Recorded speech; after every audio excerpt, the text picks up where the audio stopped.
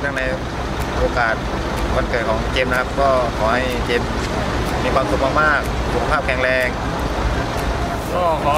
ให้เจมส์มีความสุขสุขภาพแข็งแรงร่ำรวยเงินทองครับครูก็มีแค่คำอวยพรนะครับ แล้วก็สิ่งดีๆให้กับเจมส์นะครับก็ขอให้เจมส์นั้นมีสุขภาพกายที่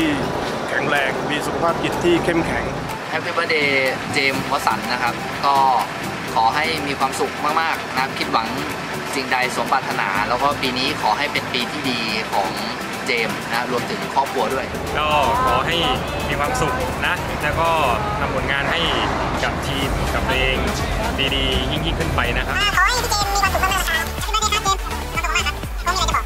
ขอบคุณครับ Happy Birthday เพื่อนอันหน้าจะมีผลงานที่พ่อและเป็นนี่ครับเจมส์ก็ขอให้มีความสุขมากๆรักเจมส์มากๆเลยครับ Happy birthday James ซิวนะ คนตายโกหกไม่ดีนะ